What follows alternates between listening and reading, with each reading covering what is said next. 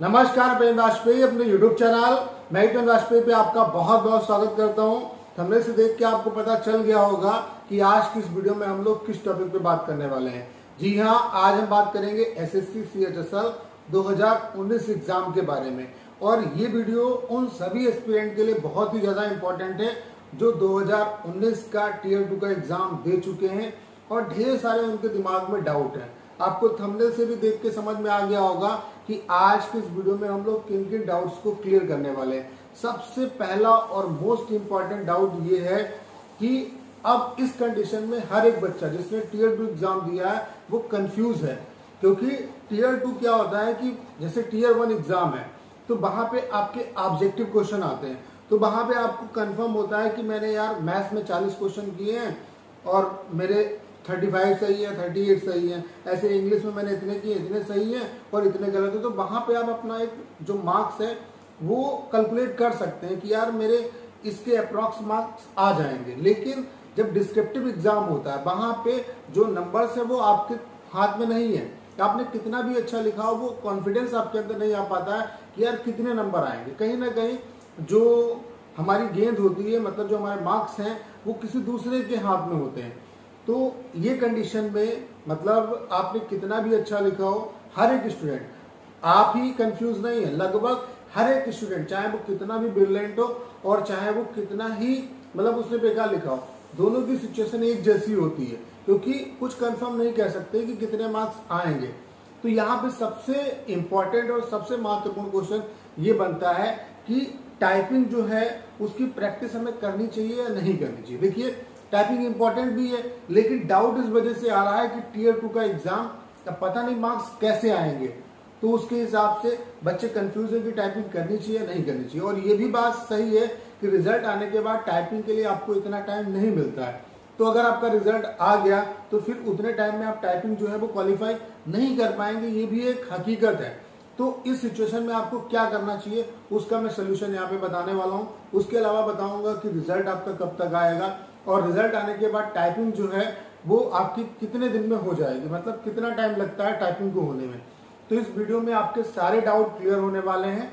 तो चलिए स्टार्ट करते हैं इस वीडियो को। बस आप सभी से रिक्वेस्ट है कि इस वीडियो को पूरा अंत तक देखिए, क्योंकि इस चैनल का सिर्फ़ और सिर्फ़ पर्पज यही है कि एक जो राइट इन्फॉर्मेशन है, जो राइट कंटेंट है, वो आप लोगों तक डिलीवर किया जा सके। तो चलिए स्टार्ट करते हैं। तो सबसे पहले हम इसी डाउट पे बात कर लेते हैं। कि टाइपिंग किसको करनी चाहिए और किसको नहीं करनी चाहिए। देखिए, हर एक इंसान के अंदर एक ख्वाहिश होती है कि उसे नौकरी पानी है। और टीयर टू में अब जब आप, आपका स्कोर आएगा, जब आपका रिज़ल्ट आएगा, तब पता चलेगा कि आपके मार्क्स कितने बनने आप टाइपिंग को देने जाएँगे या नहीं देने जाएँगे? तो यहाँ पे सबसे बड़ा क्वेश्चन ये उठता है कि टाइपिंग की प्रैक्टिस किसको करनी चाहिए? देखिए, मेरे हिसाब से तो सभी को करनी चाहिए, लेकिन अगर आप टीयर टू के बारे में बहुत ज़्यादा कॉन्फिडेंस नहीं है तो आज मैं आपको क्लियर कट बताने वाला हूँ कि किन स्टूडेंट को अभी से टाइपिंग के लिए सजग हो जाना चाहिए। बाकी मेरी तो राय यह है कि सभी को टाइपिंग की प्रैक्टिस अभी से स्टार्ट कर देनी चाहिए, जो होगा अच्छा होगा फ़िलहाल। क्योंकि यहाँ पे टीयर टू का जब रिज़ल्ट आएगा तो आप देख लेना, ज़्यादा कैंडिडेट यहाँ पे बाहर नहीं होंगे। आरटीआई के थ्रू ये पता चला है कि सैंतीस प्लस कैंडिडेट ने जो है अपियर हुए हैं एग्ज़ाम दिया है। तो इसमें जो वैकेंसी आपकी, उसके हिसाब से पैंतीस हज़ार कैंडिडेट को तो इन्हें लेने लेना है। यानी कि दो से ढाई हज़ार जो कैंडिडेट हैं, वही आपके बाहर होंगे। तो लगभग जो है, दो से ढाई हज़ार कैंडिडेट बाहर होंगे, यानी कि हम कह सकते हैं कि जो रिज़ल्ट है वो आपका 90 परसेंट आएगा। तो मेरे हिसाब से तो सभी को टाइपिंग की प्रैक्टिस करनी चाहिए, लेकिन किनको बहुत ज़्यादा ज़रूरत है टाइपिंग की प्रैक्टिस करने की, उस पर हम बात करने वाले हैं। देखिए, जिन बच्चों के मार्क्स जो भी आपकी कट ऑफ़ गई है, जैसे कि आपको पता है कि यूआर की जो कट ऑफ़ है वो 160 है समथिंग एक सौ उनसठ पॉइंट कुछ है, और इस तरीके से ओबीसी की एससी की तो भी आपकी कट ऑफ़ गई है। अगर आपके मार्क्स जो कट ऑफ़ टीयर वन की गई है, उससे 10 नंबर आपके अगर अप आ रहे हैं, अगर 10 नंबर आप ऊपर लेके आ रहे हो कट ऑफ़ से तो आपका टीयर टू का एग्ज़ाम चाहे जैसा भी गया हो, क्योंकि टीयर टू के एग्ज़ाम में आपको नंबर जो है इस बार कॉमन नंबर मिलेंगे, क्योंकि इस बार कॉमन टॉपिक पूछा गया तो फेल तो बहुत कम ही बच्चे होंगे ज़्यादा से ज़्यादा बच्चे जो हैं वो पास ही होंगे। तो अगर आपका नंबर, टीयर वन का 10 नंबर कट ऑफ़ से ऊपर है तो आप बिल्कुल सेफ़ जोन में आपको टाइपिंग की प्रैक्टिस अभी से स्टार्ट कर देनी चाहिए। एक परसेंट भी आपको डाउट नहीं होना चाहिए। आपको टाइपिंग अभी से स्टार्ट करनी है। और उसके अलावा कुछ बच्चों के दिमाग में ये भी कंफ्यूजन रहता है कि टाइपिंग ही तो करनी है, हम कहीं से भी कर लेंगे। तो वो बिल्कुल सही बात है। लेकिन एक बात मैं आपको समझाना चाहता हूँ, जैसे अब एसएससी का एग्ज़ाम निकालते हैं। तो एसएससी के एग्ज़ाम में जैसे मैथ्स आती है तो मैथ्स क्या आप कहीं से भी पढ़ते हैं। आप कहीं से भी अगर पढ़ेंगे, चाहे जितनी पढ़ने आप बहुत अच्छा स्कोर नहीं कर सकते एसएससी में। क्योंकि यहाँ पे प्रीवियस ईयर क्वेश्चन जब तक कि आप नहीं लगाएँगे, जब तक कि एग्ज़ाम बेस्ड क्वेश्चन नहीं लगाएँगे, तब तक बहुत अच्छा स्कोर आपका नहीं आएगा। तो यही मेरे कहने का मतलब है कि टाइपिंग आप कहीं से भी कर लें। लेकिन जब तक एसएससी के एग्ज़ाम में जिस तरीके का टाइपिंग पूछा जाता है। जिस तरीके के पैसेज वहाँ पे आते हैं, जो एग्ज़ाम पैटर्न है, जो प्रीवियस ईयर जिस तरीके से पैसेज आए हैं, उनको अगर आप प्रैक्टिस नहीं करेंगे तो सेम टू सेम आप उस तरीके से उसे रिलेट कर सकते हैं कि कितना बड़ा इफ़ेक्ट पड़ेगा। तो इसी बात को आप अपनी टाइपिंग से भी रिलेट करेंगे कि आपको एग्ज़ाम बेस्ड जो टाइपिंग के पैसेज हैं, जो प्रीवियस ईयर पैसेज हैं, उनको ज़रूर टाइप करना है, क्योंकि वो आपके लिए बहुत ही ज़्यादा इंपॉर्टेंट है। तो अगर आप प्रीवियस ईयर पैसेज और जो एग्ज़ाम में जिस तरीके के आपके पैसेज आते हैं, उस तरीके के अगर आप पैसेज की प्रैक्टिस करना चाहते हैं तो आपके लिए मैंने कंप्लीट मटेरियल बना दिया, जिसमें आपको 32 जो प्रीवियस ईयर के टाइपिंग के पैसेज हैं, वो मिलेंगे। और इसके अलावा आपको किस तरीके से टाइपिंग करनी है किन किन चीज़ों का फॉलो करना है किन किन चीज़ों को स्किप करना है, उसके अलावा ये देखिए, आपके 32 ये आरटीआई के थ्रू निकाले गए पैसेज हैं जो कि आपके लिए बहुत ही ज़्यादा हेल्पफुल होंगे। ये आपको कहीं नहीं मिलेंगे। बहुत ज़्यादा इसमें मेहनत लगी है और इस कंटेंट को मैंने बाकायदा दो तीन बार चेक किया है। तो बिल्कुल एररलेस कंटेंट है। तो 32 आपको जो प्रीवियस ईयर टाइपिंग के पैसेज हैं, वो मिलेंगे जो कि एस एस सी और सीजीएल में अभी तक पूछे गए हैं। उसके अलावा जो एग्ज़ाम बेस्ड जिस तरीके से आपके टाइपिंग के पैसेज आते हैं, उस पे बेस्ड आपके 60 पैसेज और आपको मिलेंगे। इसमें ये एग्ज़ाम बेस्ड आपके जो टाइपिंग के सेट है, वो भी हैं। उसके अलावा जो स्टेट लेवल के एग्ज़ाम में टाइपिंग कराया जाता है, वो भी इसमें यहाँ पे मैंने दिए हुए हैं। तो टोटल ये 60 प्लस 32 यानी कि टोटल आपके 92 आपको पैसेज मिलेंगे। उसके अलावा आपको कंप्लीट वीडियो लेक्चर जो इंपॉर्टेंट वीडियोस है, कि आपको टाइपिंग कैसे करनी है, किन कीबोर्ड का यूज़ करना है, कैसे स्पीड आपको बढ़ानी है ऑनलाइन अगर टाइपिंग करनी है तो कैसे करनी है। तो ये सारी चीज़ें आपको बताई जाएँगी वीडियो के थ्रू तो ये टोटल आपके 92 पैसेज हैं। उसके अलावा आपको वीडियोस भी मिलेंगी और कंप्लीट यहाँ पे गाइडेंस मिलेगा। इतना मैं यकीन के साथ कह सकता हूँ कि इस कंटेंट से आपको 100 परसेंट बेनिफिट मिलेगा।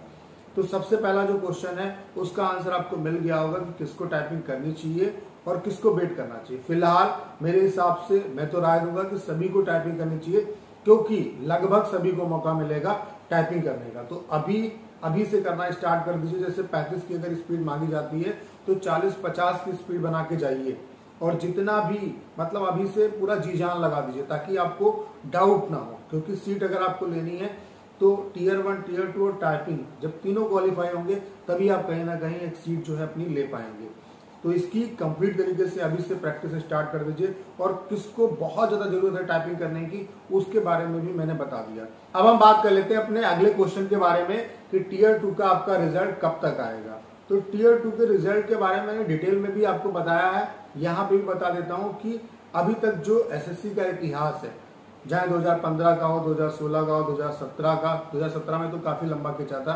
2018 तो एवरेज अगर टाइम ड्यूरेशन निकाला जाए तो तीन से साढ़े तीन महीने आपके लगते हैं रिज़ल्ट आने में। तो 14 फरवरी को आपका एग्ज़ाम हुआ था तो वही हम उम्मीद कर सकते हैं कि मई के लास्ट में आएगा या जून के फ़र्स्ट वीक में आपका टीयर टू का रिज़ल्ट अनाउंस हो जाएगा। उसके बाद बात कर लेते हैं अगले क्वेश्चन के बारे में कि आपका टीयर टू का रिज़ल्ट आने के बाद टाइपिंग में आपको कितना टाइम मिलेगा टाइपिंग के लिए। तो टीयर टू का रिज़ल्ट आने के बाद मिनिमम आपको 20 दिन और मैक्सिमम आपको 40 दिन मिलेंगे। मिनिमम 20 दिन और मैक्सिमम आपको 40 दिन मिलेंगे, इतना ही टाइम आपको मिलने वाला है। तो आपका जो टाइपिंग है, अगर जून में मान लेते हैं रिज़ल्ट आपका अनाउंस हो जाता है तो जुलाई में आपका टाइपिंग हो जाएगा। तो आपके पास अब ज़्यादा टाइम नहीं बचा हुआ है। आप किसी भी चीज़ का वेट किए हुए आप टाइपिंग करना स्टार्ट कर दीजिए। ये आपके लिए बहुत ही अच्छा रहेगा। ये एक बड़े भाई होने के नाते मैं आपको एक सलाह दे रहा हूँ कि आप टाइपिंग करना स्टार्ट कर दीजिए टाइपिंग आपकी बेकार नहीं जाएगी। पहली बात तो 100 परसेंट आपको टाइपिंग देने को मिलेगा। उसके अलावा अगर नहीं भी मान लेते बाई चांस इनकेस नहीं मिलता है, अगर मान लेते हैं आप बॉर्डर पे हैं तो आप अपने घर पे प्रैक्टिस करिए। तो वो आपकी मेहनत बेकार नहीं जाएगी। अभी मान लेते हैं टीयर टू का रिज़ल्ट आने के बाद आपका मान लेते हैं टीयर टू में अच्छा मार्क्स आ गया तो तो आपको टाइपिंग देने को मिलेगा। और अगर आपने प्रैक्टिस नहीं की होगी तो आपकी जो चीज़ें हैं वो हाथ से निकल जाएँगी। तो किस्मत के भरोसे मत रहिए। अभी से अगर मेरी राय आपको माननी है तो मैं आपको सलाह देता हूँ कि अभी से टाइपिंग करना स्टार्ट कर दीजिए और अच्छे तरीके से करिए। सीरियसली टाइपिंग करिए, क्योंकि अब आपके पास टाइम ज़्यादा नहीं बचा हुआ है। तो ज़बरदस्त तरीके से टाइपिंग करिए और सभी को राय है कि अभी आप हार्ड कॉपी से टाइपिंग करिए। अभी अगर ऑनलाइन आपको टाइपिंग करना है तो आप पाँच दस मिनट ऑनलाइन टाइपिंग कर सकते हैं। उसके अलावा ज़्यादा से ज़्यादा टाइपिंग जो है वो आप ऑफलाइन करिए पेपर को देख के टाइपिंग करिए और और 99 परसेंट चांस इस बार ये है कि आपका जो टाइपिंग है वो रीजनल हेड ऑफ़िस में होगा और जिस तरीके से आपका पुराने पैटर्न पे, यानी कि जो आपको हार्ड कॉपी दी जाती थी, उस तरीके से टाइपिंग होगा। तो फिर से मैं आपको बताना चाहता हूँ कि अगर आपने अभी तक ये जो टाइपिंग का कंटेंट है, जो आपके लिए बहुत ही ज़्यादा यूजफुल है हंड्रेड परसेंट आपको इससे बहुत ज़्यादा बेनिफिट मिलेगा। तो अभी तक आपने अगर इससे नहीं परचेज किया है तो आप इससे परचेज कर लीजिए। इससे आपको बहुत ही ज़्यादा हेल्प मिलेगी। कैसे आप इस कंटेंट को ले सकते हैं, उसके लिए आपको क्या करना है? Six three zero seven one eight five six double nine six three zero seven one eight five six double nine इस नंबर पे आपको व्हाट्सएप पे मैसेज करना है। आपको कोर्स के रिगार्डिंग सारी इन्फॉर्मेशन दे दी जाएगी। तो उम्मीद है कि आज के इस वीडियो में जो भी बातें मैंने आपके साथ डिस्कस की वो बातें में आपको समझ में आई होंगी। और अगर आपने अभी तक इस चैनल को सब्सक्राइब नहीं किया है, चैनल पे आप नए हैं तो प्लीज़ चैनल को सब्सक्राइब भी करिए और इस वीडियो को ज़्यादा से ज़्यादा शेयर करिए, ताकि एक जो राइट इन्फॉर्मेशन है, वो लगभग सभी स्टूडेंट तक पहुँच सके, ताकि ज़्यादा से ज़्यादा बच्चों को इसका बेनिफिट हो सके। Thank you